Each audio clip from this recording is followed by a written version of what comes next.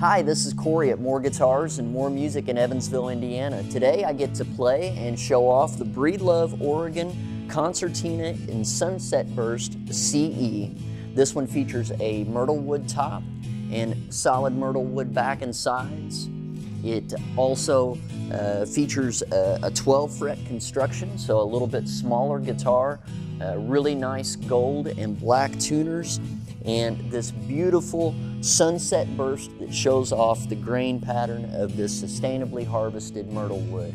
Check it out, Breedlove Oregon Concertina Sunset Burst at Moore Guitars and Moore Music in Evansville, Indiana.